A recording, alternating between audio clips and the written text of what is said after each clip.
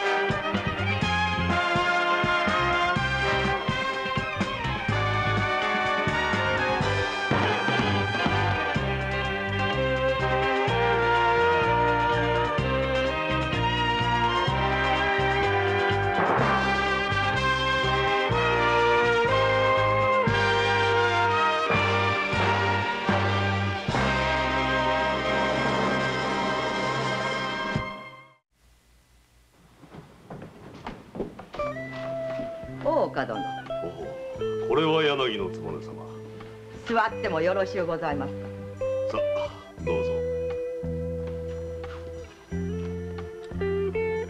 久しくお目にかからなかったがご機嫌はいかがですか？良い道理がございます。おお。それはまた。大岡殿。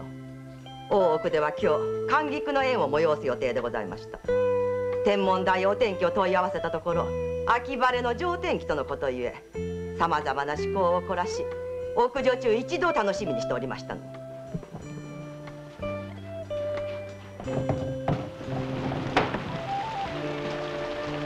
このお天気は一体何でございますか？はは外れましたか。いや昔から女心と秋の空といってとかく変わりやすく扱いにくいものでしてまあそれはこの私への当てつけでございますか？あいやめっそうもないしかしその尻を私のところへ持ってこられるのはいささか筋違いと思いますが私が申し上げたいのはこのように当てにならぬ天文台のためにご公儀の貴重なお金を使っているのは無駄ではないかということです。大奥の無駄遣いに比べればビビたるものだ。何ですって？いやほんの独り言で。とにかく私はこんなひどい予想を出した係の者の処罰を要求しますたかが天気の予想が外れたぐらいで処罰とは穏やかでありませんな。たかが天気とは何です？大奥一同の失望落胆。ぬか喜びで。す準備のためにかかった手間費用を考えれば切腹を命じてもよいくらいです。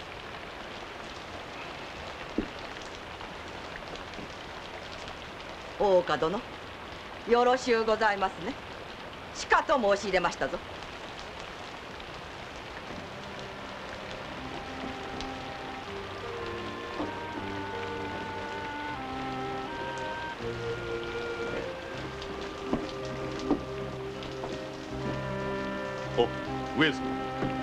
ここへ来たら声がしたので黙って聞いていた。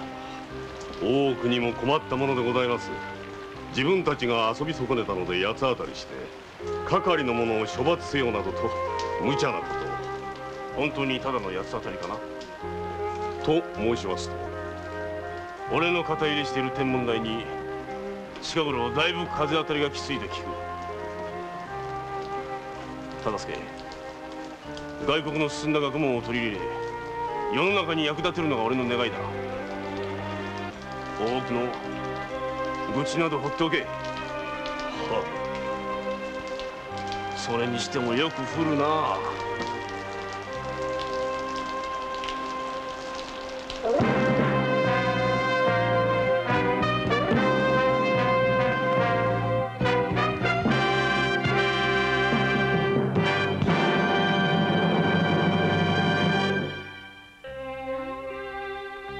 的な考えを好んだ吉宗は神田佐久間町に測量台を建設した。この測量台は一般には天文台あるいは視天台と呼ばれた。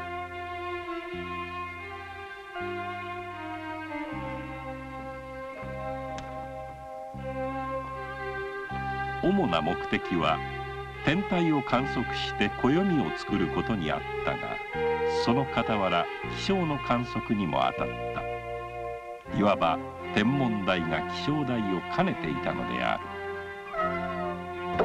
おい今耳にしたんだが大変だったらしいぞ。大変って何がです？大きなやつだ三四郎お前のことだ。今日の天気のことで危うく腹を切らねばならんところだったらしいぞ。それがどうして助かったんですか？どなたか口添えしてくださったそうだ。それにしてももう少しなんとか当たるようにならんのか。明日の天気がズバリと当たるようになるには100年先か200年先か。いやそれもまだ難しいでしょう。そんなものかな。ええそんなもんです。しかし私はできるだけの努力はします。この仕事に情熱を燃やしてますから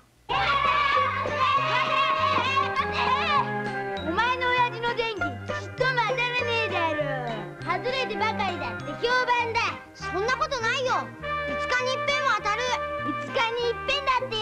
いや3日に一遍だ。俺の方がもっとよく当たるぞ。見てろ。明日天気になれ。あ雨だ。お前の親父お役所で毎日こんなことやってるのか？違うよ。そんなことするもんか。もっといろんなことをして頭で考えるんだ。考えたって当たらなきゃ。何もならねえぞ。くそー！やったな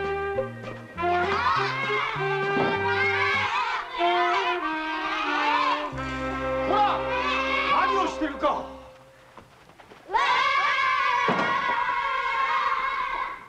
どうして喧嘩なんかしたんだ。父上が恨めしいです。子供にまで恥をかかせないでください。源太郎。おい源太郎相葉様？今お帰りですか？お八重ちゃん。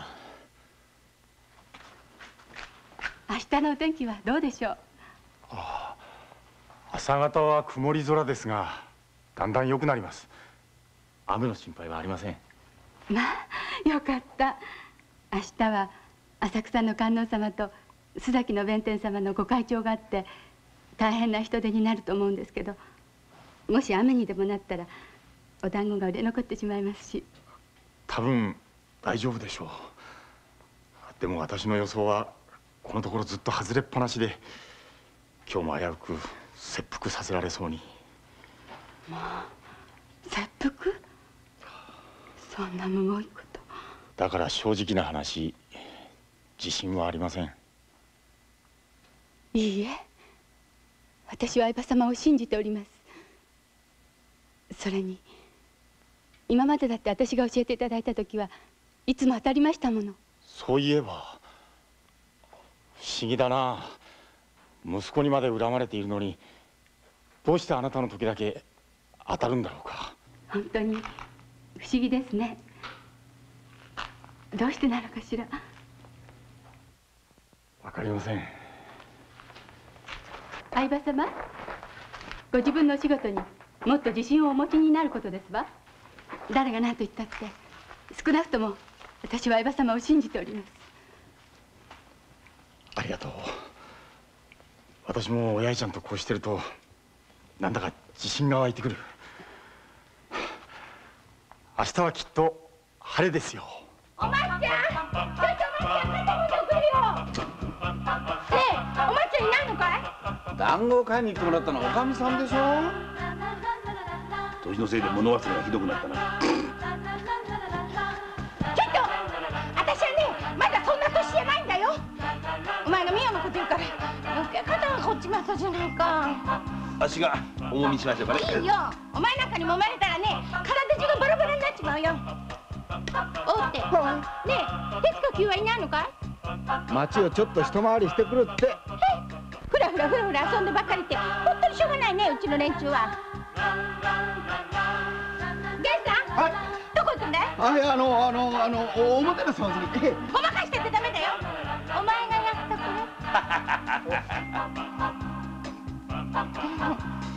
お待ちどうさではい二人前いらっしゃいませゆっくりどうぞ、あら？おはようございます。おはよう。今日は天気になってよかったね。おかげさまでこんなにお客様が。どうぞおかけくださって。いつもお世話様になりまして。大助かりでございます。おやいあ早くお茶とお団子を。はい。いやそれはいかん。天気を教えて役に立つのは我々の務めだがそのために接待を受けては職を汚すことになる。そうお堅いことおっしゃいませんと。どうぞあどうぞ。どうぞ。いや私はあなた方に喜んでもらえればそれが何より嬉しいのだ。ではごめんごめんくださいませ。今時珍しいお方だな。本当だね。おやいちゃんほらおまちちゃん。おまっちゃんいらっしゃいませ。おじさんお団子20本ちょうだい。毎度どうも。ねえあの人おやいちゃんのいい人？いやそんなんじゃないわ。そうじゃ嫌いなの。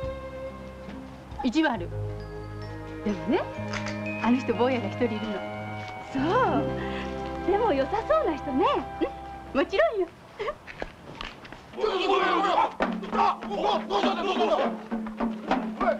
お前たちも来い。来いってやろ面白そうだ言って。くれじゃ兄貴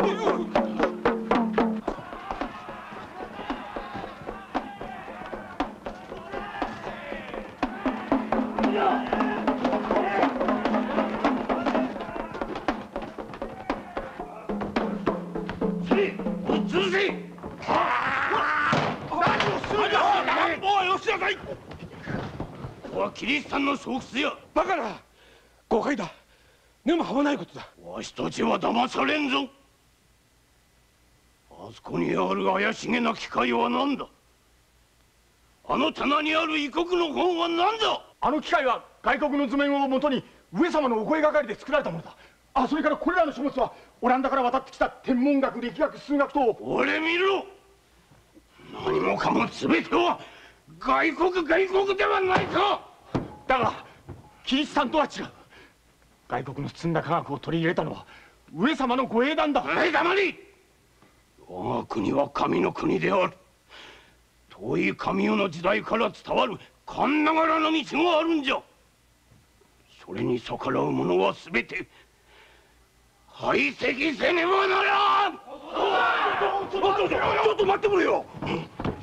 俺たちな難しいことはちんぷんかんぷんだがよ上様がお許しだったんだろそれだったらよそれに反対するのは上様に逆らう。よいか。わしたちは決して上様に逆らうものではない。上様を祭り上げ誤った道を推し進める君側の勘が憎いのだ。やれ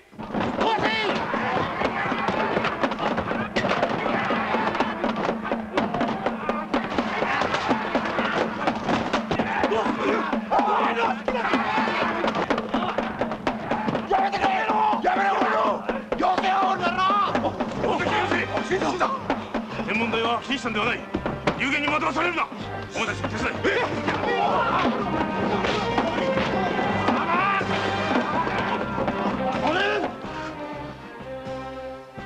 貴様役人か。俺は冷や飯組の風来坊名前は徳田新之助だ。覚えておくぞ。引け。引け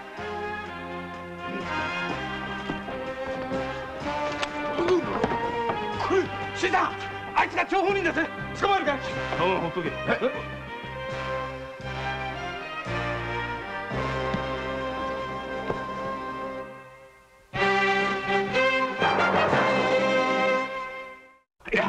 じゃあ新さんまた。あの皆さんお世話になりました。いえいえ。あどうも。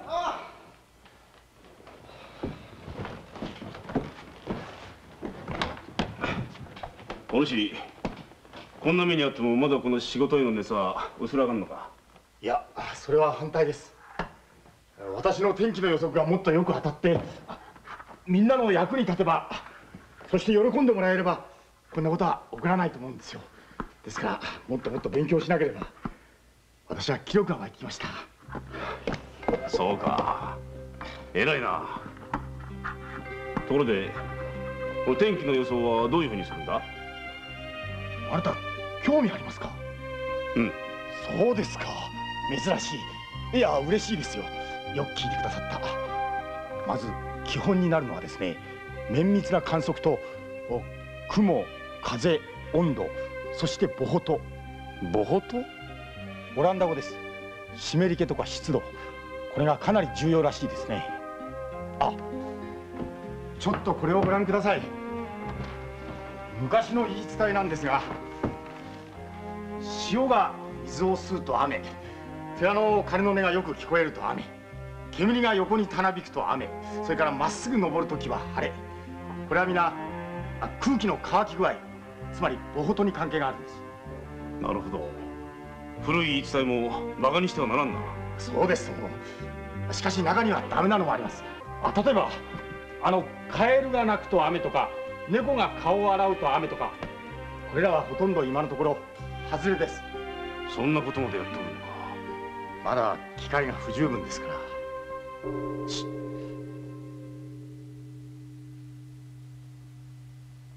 あの鳴り具合では空気が乾いてきてます。明日は多分晴れでしょう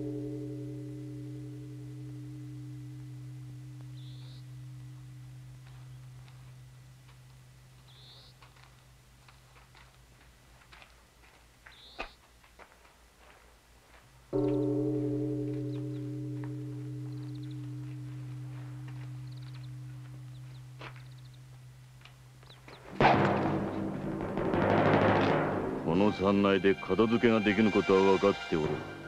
その身のこなしただの取り終えとは思えぬ。いいえ。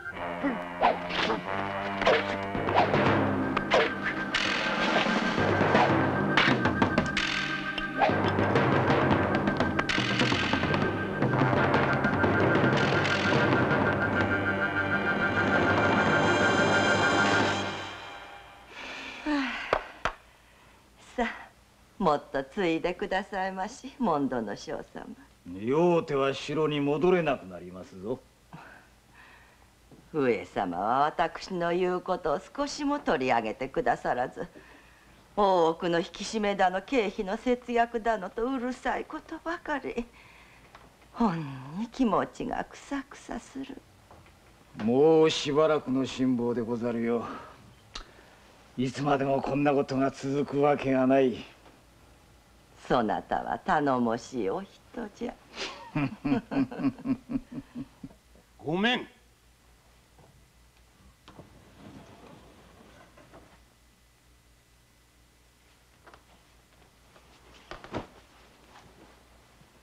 佐久間町の方は日頃の鬱憤を晴らしてやりました。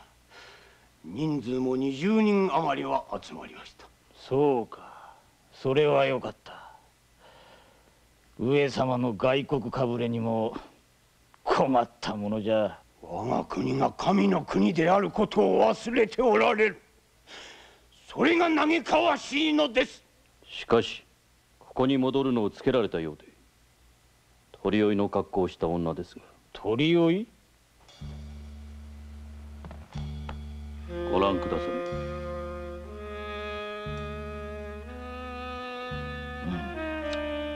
鋭く研いだるな。武器じゃいかにも。な何者だ。まさか公儀お庭番では。私がこうしているのを探りに来たのではあるまいな。それに今一人徳田新之助と名乗る侍がわしたちの邪魔をしました。徳田新之助？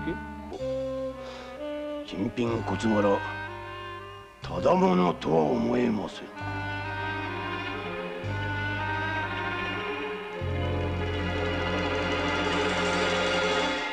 まあそんなわけでこの三人はよく働いてくれたんだ。叱らないでやってくれ。叱るなんてそんな私はいつも言ってるんだよ。ふらふらしてる暇があったら町へ出なってきっと役に立つことがあるからってさ。ふらふら遊び回ってるっていつも怒ってるくせに。なそう風女地みて膨れてよ。誰が副長人なんだよ。そうだね。私魚で言ったら鮎か白ギスっていうところだね、あそんなこと言ったらちょっと食べたくなっちまったよ。おまっちゃんちょっと行って買っといでえ？フグですか？バカ！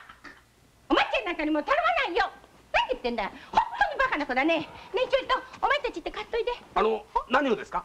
決まってんじゃないか。あゆか白ギスだよもう秋も終わりだ。あゆも白ギスも売ってないだろ。やっぱりおかみさんフグですね。ぶっ飛ばすごめんください。はい。ああんたか？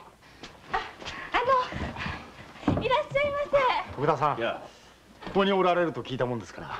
天文台の相葉さんだ。せあなたが？あらお前ちゃん知ってるのかい？ええ私と仲良しのお団子屋のお八重ちゃんの。いや今朝は徳田さんや常さんたちにお世話になりましたのでお礼に伺いました。あこれほんの手土産ですが。まあどあのおやいちゃんの店の団子です。総髪の男は竹村白雲斎元神主で熱狂的な国学者です。これまでにもオランダ医学を排斥し医者や学者を襲っております。自分の修行を信ずるあまり考えが狭くなってるんだろその白雲斎の背後から糸を引いている者がおります。誰だ？はい。寛永寺の帰りつけましたるところ尾張藩上屋敷に入りました。何？江戸家老水木門戸の章にございます。はいできましたよ。では父上はご無事だったんですね。ええ。さっきねお団子を買いに売られた時そうおっしゃってたわ。だから心配しないで。うん。よかった。それからね父上のお仕事のこと分かってあげてくださいね。源太郎さんに恨まれるのが何よりも辛いんですって。恨んでなんかいないよ。だけどみんなが笑うから悔しいんだ。うん。でもとっても難しいお仕事なのよ。ただいま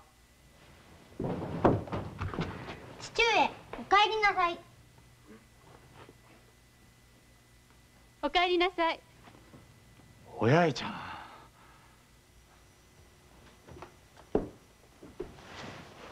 不意にお邪魔してすみません。危ない目にあったお話を聞いたらなんだか急に来たくなって。あ明日の天気はですね。三四郎様私はお天気を聞きに来たのではありません三四郎様はお天気のことは分かっても女の気持ちはちっともお分かりにならないのです。すいません。いやおうまそうだなこれは。ご迷惑だったんですね。とんでもない。源太郎は母親の味を知らないしずっと一膳飯屋や私の手料理ばかりで。いや嬉しいのは源太郎ばかりではありません。私だってどんなにか。本当ですか？しかし私はこんな見栄えのしない男ですしおまけにこぶつきで。いいえそんなこと何でもありません。ありがとうおやいちゃん。あじゃあいただきます。はい。源太郎さんもうんとたくさん食べてね。うんきます。今日はお姉ちゃんに美味しいご飯作ってもらってよかったな。うん。これからももっと来ていいですか？待ってます。あ今日は本当に楽しかったよ。ええ。私も。それじゃあここで。おやすみなさい。おやすみなさい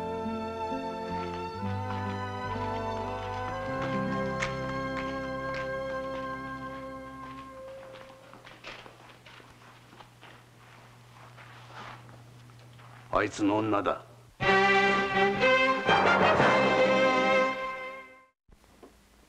柳の局が耳寄りの話を持ってきてくれてな。上様が明日武蔵野で狩りをなされるとのことだ。武蔵野で狩り我々の考えを直訴とするまたとない折かもしれませんな直訴？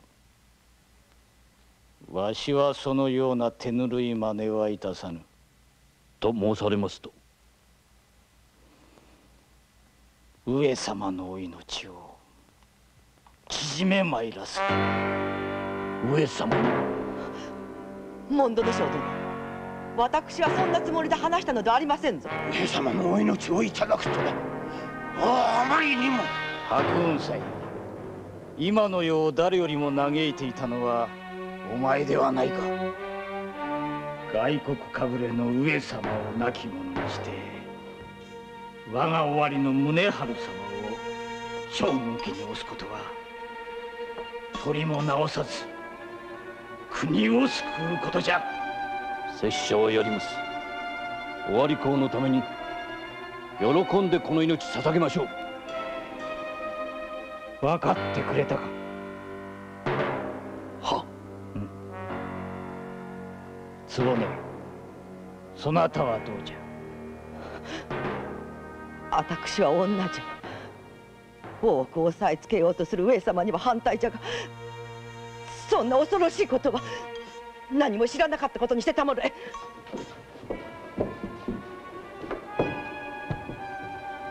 口を割られては一大事。一思いそれには及ぶまい。喋れば自分も助からんことを知っておるだろう、まあ、それより心配なのは明日の天気じゃ。この機会を逃がしては二度とないぞ。さよう。鬼屋番らしいものも動いています。やる前にこちらがやられます。そうだ。何としてでも明日上様を武蔵野に引き出すことだ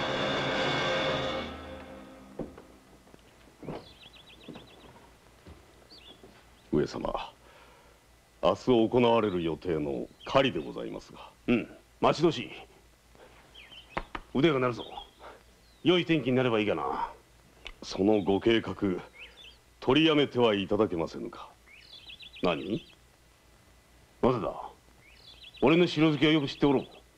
そればかりではない。俺が狩りをするのは勝負の気風を振り起こすためでもあるんだ。いやそれはよく存じております。しかし先日の天文台への狼藉をはじめ不穏な動きは明白。ただの嫌がらせとも思えません。もし上様の身に万一のことでもあれば一大事でございます。申し上げます。上様お園の報告によりますと尾張藩の家老水木門戸の将ら明日のお狩り場にて上様を襲う企てがありと。上様心配無用。ただすけ意見は聞かんぞ何と仰せられます。ではせめてせめてお供の人数をお増やしください。友は少しでよい。上様。御自らお取りになって悪人の企みを一挙に粉砕なさるおつもりでございましょう。いやそれはあまりに危険が多すぎます。他に手立てはあるか。尾張藩が仮に天下を覆そうと目論んでいても罪を問うに至る証拠は何もない。忠相俺は行くぞ。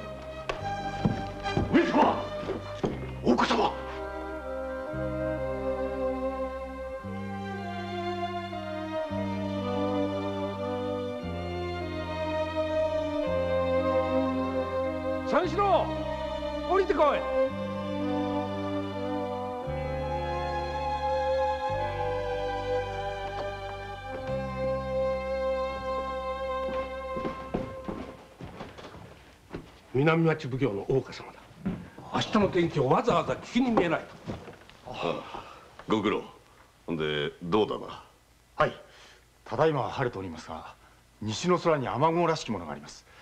富士山の南の海上にこの雲が現れた時は西風が吹き大雨になると古書にあります。では明日は大雨だな。いや助かった。いえまだわかりません。雲の形がはっきりしませんし消えるかもしれませんでは雲が消えれば晴れるのか。はい。夕方まで観測を続けます。困ったな。何としても降ってほしいのだが。私は予測するのは務めですが天気を変えることはできません。それはそうだ。うん。では五国上様よりお問い合わせがあるからその時必ず大雨になるので全ての屋外での行事をお取りやめくださいと返事をくれぬか。たとえ相手が上様でも天気を偽ることはできません。三四郎お前というやつはこの天文台はどなたがお作りになったと思ってるんだ？いやあこれは俺が悪かった。そのような見えすぎた小細工でご決心を変えられるような上様ではなかったのにな。邪魔をした大岡様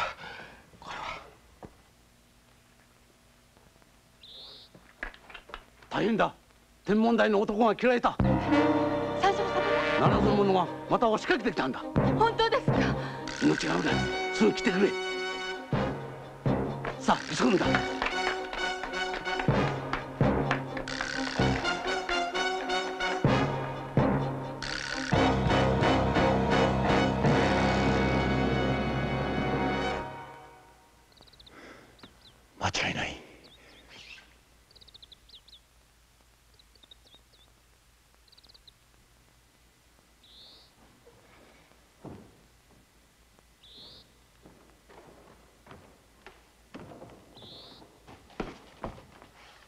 八重ちゃん。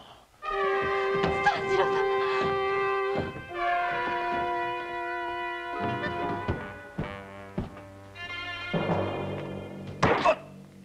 何をするんだ？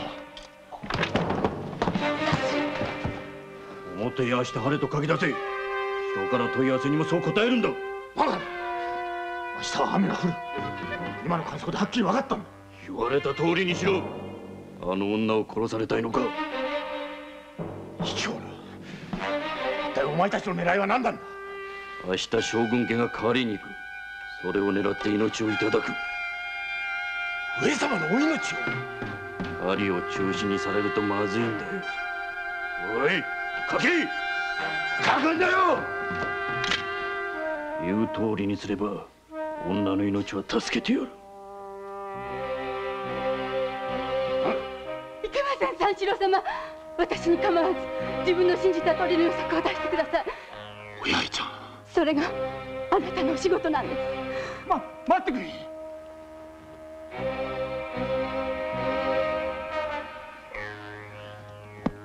けません。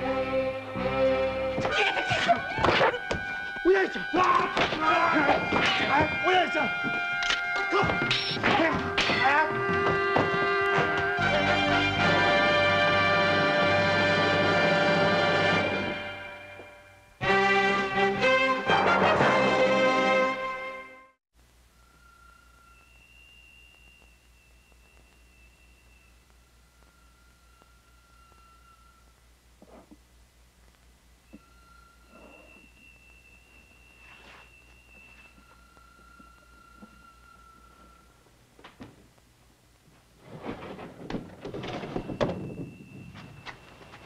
どうだ？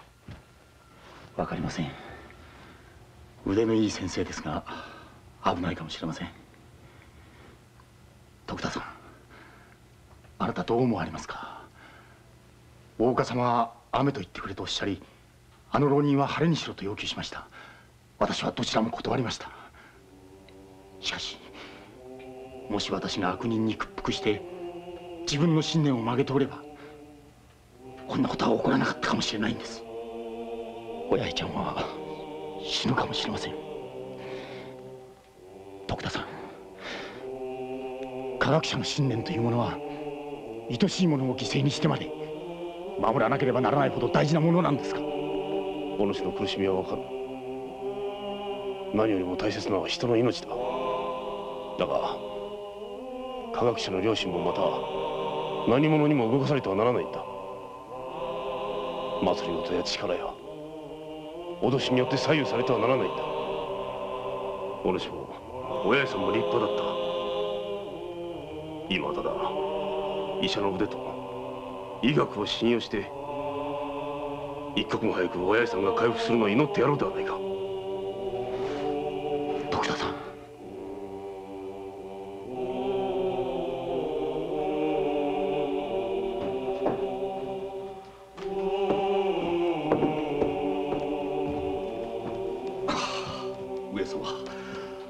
残念ながら三四郎の予想はまたしても外れました。上様狩りにいらっしゃってはなりませぬ。私は私は愚かな女でございました。つぼね分かっておる。以後は必ず自重いたせよ。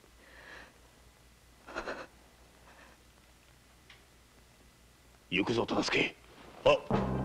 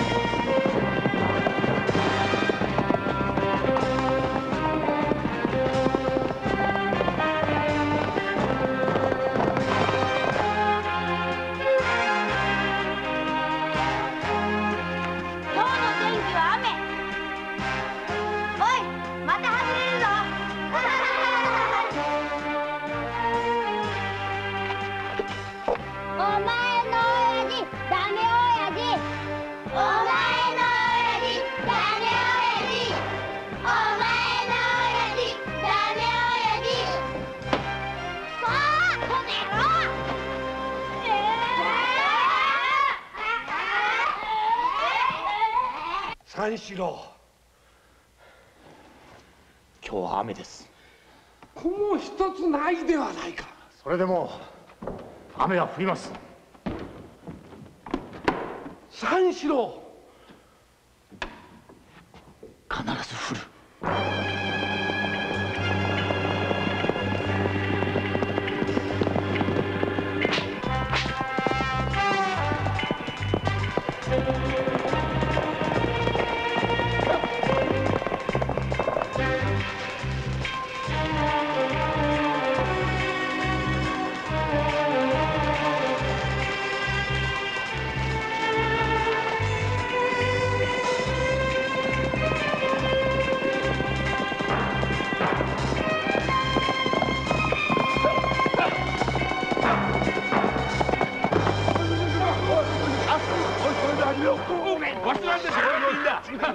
酒さえらほら最高だよな。そうそうよしよしよしよしおい見なよこの天気三四郎の旦那ダメだ？よこりゃ当たるも発見当たらぬも発見天気予報なんてそんなもんよあら急もやってやらこの野郎あほらみんなに継がねえかこの野郎あこれすいませんねどうも気がつかなくてええどうぞはいおいおいおいおいおいあれ卵焼きかと思ったらたくあんだ？ぜおい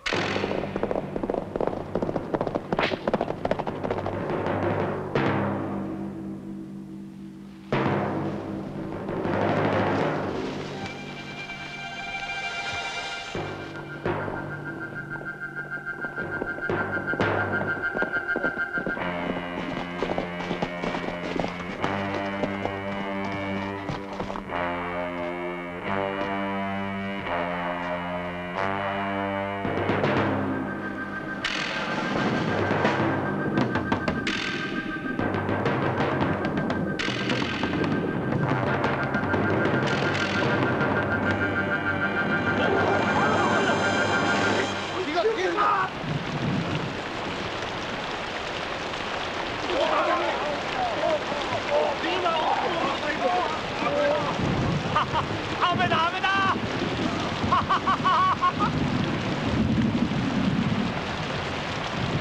しまった火のが消えた早く待ってこい相手は二人のみだ一斉おうフリー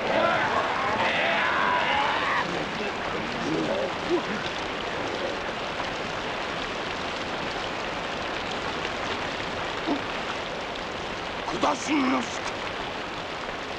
俺が吉宗だお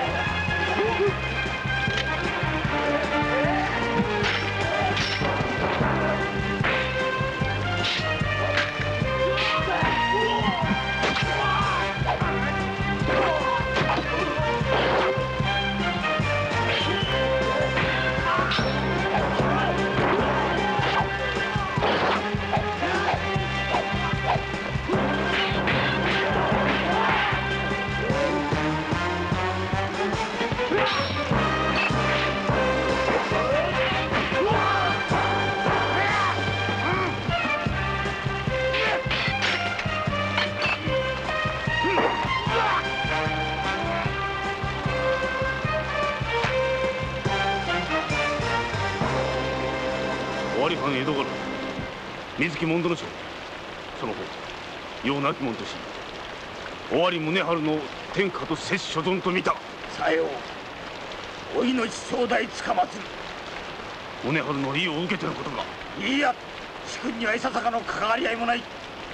拙者一人の企てでござる。ごめん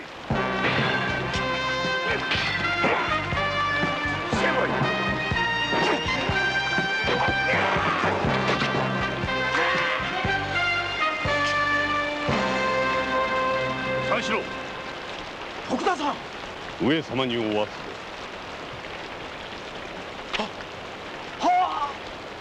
三四郎。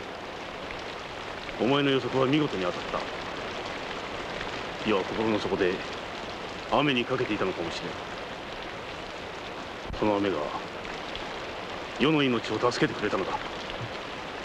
はっ。恐れ入ります。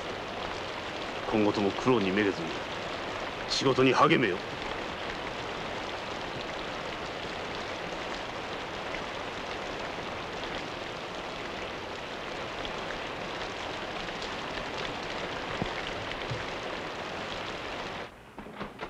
源太郎は鼻高々であった。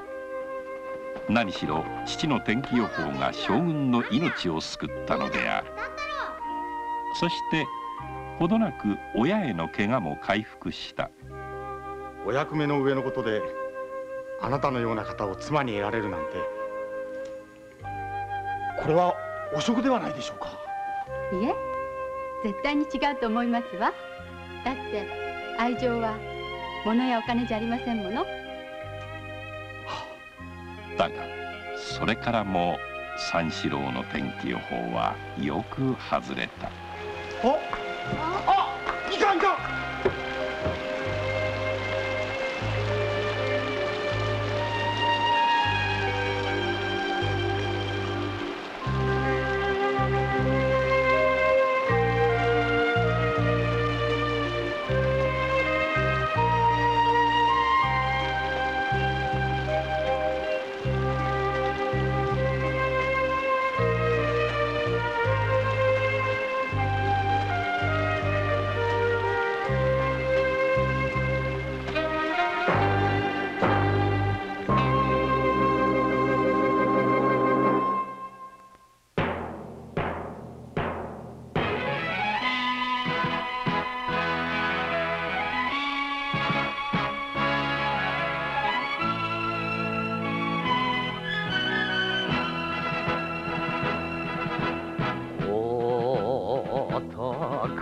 男の俺が選んだ道だ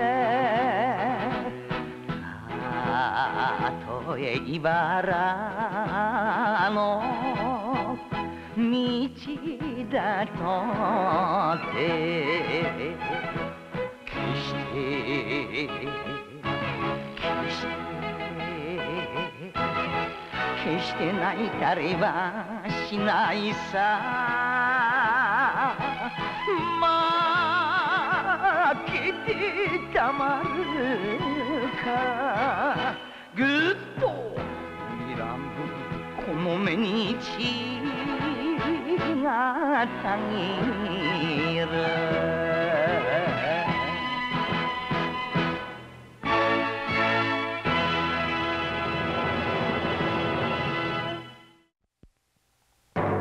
吉宗評判記暴れん坊将軍。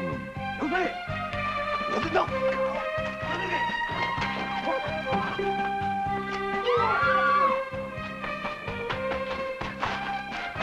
リスさん徳田様どいてください。お情けあるなら私を生かしてくだされ。一体この二人の間に何があったのか。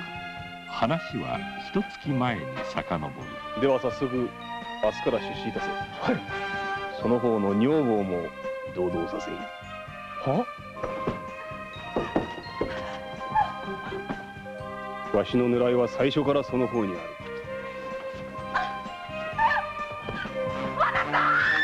この恨み。この恨み晴らさね吉原小柄し女の涙。どうぞお楽しみに